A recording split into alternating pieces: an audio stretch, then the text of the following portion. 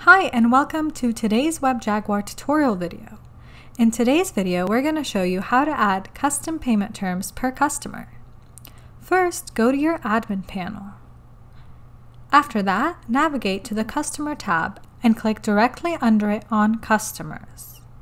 In this area, you'll find all the customers that are in your database. Go ahead and navigate to the gear beside the customer and click on Edit. In this next section, you'll be able to see all the information that you have about this customer, from email address to general customer information. Go ahead and click on Options. Here you'll be able to edit the payment options, where you can do credit card, bill me later, submit as quote, and can even add net 15 or net 20. We're going to choose credit card only. You can also edit which price table you would like the customer to see based on the ones you've already designed. You can also add the credit card fee rate that you'd like.